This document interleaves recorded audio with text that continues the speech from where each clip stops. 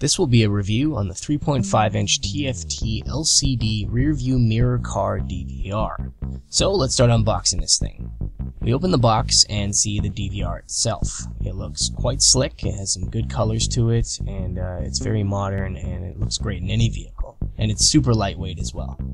Inside there's also a car adapter and a USB cable, and we'll get to those and what those are used for later on in the video. The main attraction to this product is the dual cameras located on the bottom of the DVR. They're very easy to spin and can be rotated up to 180 degrees in opposite directions. Uh, on top of that, there is a port for the USB cable and another port for the car adapter charger. On the right hand side, there's an SD card slot and an HDMI slot. Now let's turn this thing on. As you can see, the camera's display has two different screens. You can see my face right here, so let's go over to the buttons. There's a zoom function. Pressing the up button would zoom in to a maximum of 4 times zoom.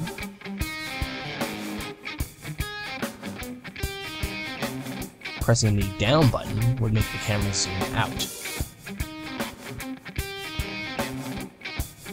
To turn off the device, you hold the on-off button. Menu slash record button will record a video if you press it. Again, we have no memory card to demonstrate this, but you get the idea. By holding the button, you will be introduced to many video functions of the camera. This includes white balance, where you can change the color of your shot. The function is very similar to that of an ordinary camera. You can navigate the menu using the up and down buttons, and holding the button again will give you another menu, this time involving setup. Here you can change the date and time if you so wish to do so.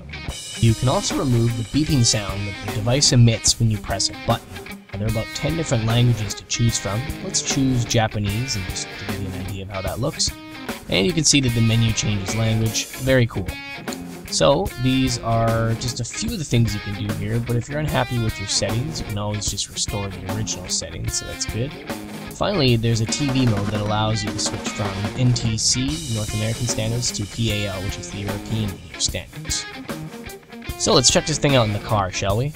The car adapter goes in where it should with the car adapter port, and then you just plug in the other side into the car DVR. Now the device is always charging and always powered while you're on the road.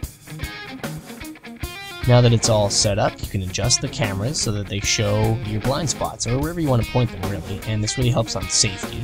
Um, being attached to your car mirror, it serves well as a mirror too, as a very glossy surface, very clear and very safe as well, um, which is great to see. So let's take it for a test ride. We've placed the camera on the right hand side and you can see on the display the camera tracks the footage of our ride perfectly. So don't forget to click the link in the video description below to check out this great car DVR product and many others now available at gadgetsfactory.com. Also, please don't forget to subscribe to our YouTube channel. That allows you to check out some other great videos and to win some really cool prizes as well. Thanks for watching.